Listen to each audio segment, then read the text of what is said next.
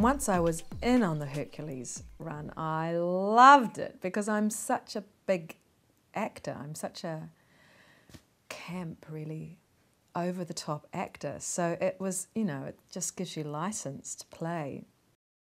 Well, I love Claire. She's a great girl. I suppose she was she was written very heroically, and, and what I tried to do was bring her down a peg or two and really work on her flaws, which was the fact that she was emotionally dysfunctional, having grown up in a, in a really tough man's world. And because we were shooting on location, I could get a sense of what that was like.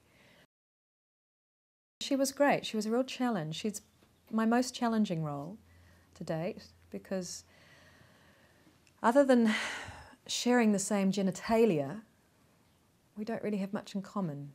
So it's um, I could I could empathise as to why she is the way she is, and I did a lot of research to try and help understand why she is the way she is. But it was still very difficult having to be her her body and her mouthpiece and do the things she does. The first time I shot the gun, I burst into tears and had to take rescue remedy before we could shoot again.